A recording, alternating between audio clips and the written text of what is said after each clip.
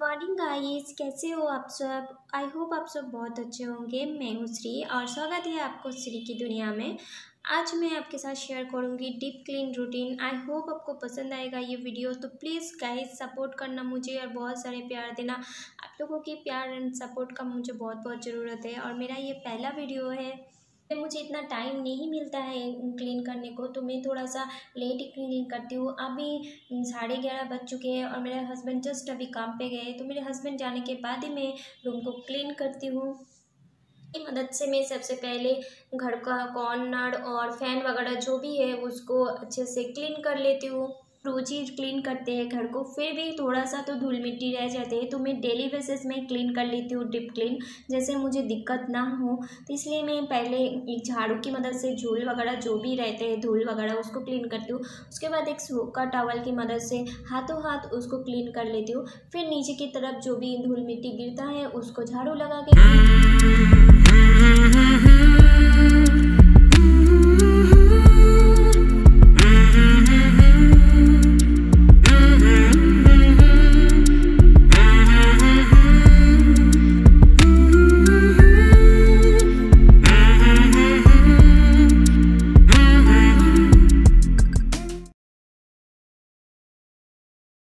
उसके बाद मैं एक सूखा टवल से मेरे पंखा को क्लीन कर लेती हूँ, क्योंकि मेरा फ़ैन चालू रहता है। अभी इधर तो हल्का हल्का गर्मी है तो फ़ैन तो चालू रहता है और मेरा कोई चिमनी नहीं है तो किचन में जितना भी खाना बनाती हूँ, पूरा बेडरूम के अंदर जब पंखा चालू रहता है तो ऑयल ऑयल हो जाता है, इसलिए मैं रोज़ क्लीन कर लेती हूँ।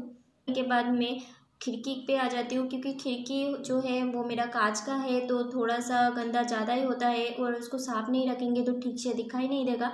इसलिए मैं थोड़ा सा रोज़ गीला पानी, साबुन पानी से क्लीन करती हूँ, पेट को क्लीन करने में। क्योंकि बेड को अगर पहले क्लीन करेंगे ना तो फिर गंदा हो ही जाता है। तो सब लास्ट में मैं क्लीन करती हूँ बेड को। तो ये सब चीज़ आप दिखाई दे रहे हैं। ये मेरे हस्बैंड का चीज़ है। उसको जब भी कुछ नहीं मिलता है इधर उधर हो जाते हैं तो सब लेके वो बेड के ऊपर ही रख देते हैं। तो मेरे हस्बैंड जाने के बाद ही इसलिए मैं घर को क्लीन करती हूँ।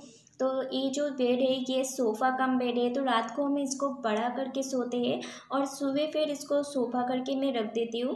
तो इसमें क्या होता है, जगह भी बच जाते हैं और देखने में भी अच्छा लगता है।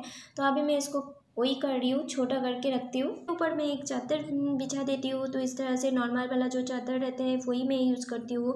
ऐसे तो मेरे पास सोफ़ा का कवर है, लेकिन मैं उसको ज़्यादा यूज़ नहीं करती हूँ। कोई ओकेशन रहेगा तो ही करती हूँ, क्योंकि ये घर के लिए ना अच्छा है, क्योंकि कोई सो भी सकते हैं ना नॉर्मल वाला चादर पर तो ये पूरा दिन मैं इस तरह से एक चादर रखती हूँ और रात को सोने के लिए दूसरा चादर यूज़ करती हूँ, जो अभी उठा के लेके गई। उसको धो लेती हूँ तो रात तक वो सूख जाते हैं। तो इसके ऊपर जो भी कुशन वगैरह है, इस तरह से मैं सेट कर देती हूँ। फिर से नीचे की तरफ़ आके अभी थोड़ा सा झाड़ू पोछा लगा देंगे।